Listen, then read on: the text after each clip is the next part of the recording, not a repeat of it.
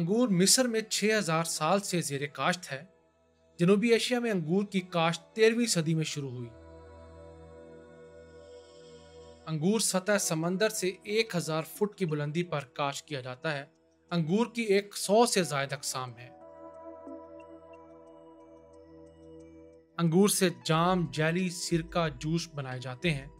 अंगूर खुश करके किशमिश और मुनक्का भी बनाए जाते हैं। अंगूर, vitamin A B C calcium, फौलाद, potassium से भरपूर होता है। अंगूर में इक्यासी फ़ीसद पानी होता है।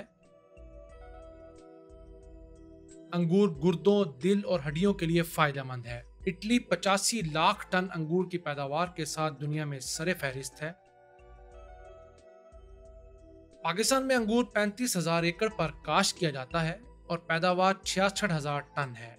पाकिस्तान में अंगूर की पैदावार में सालाना 11 फ़ीसद का इजाफा हो रहा है। पाकिस्तानी ज़रिए माहरीन ने बगैर बीज अंगूर पैदा किया है, जो मैदानी इलाकों में बसानी काश्त किया जा सकता है। पाकिस्तानी किसान अंगूर से फ़ी एकड़ पाँच लाख रुपए सालाना मुनाफा कमा सकते हैं मजीद एक लाख एकड़ पर अंगूर की काश्त से कौमी आमदन में 50 अरब रुपए का इजाफा हो सकता है।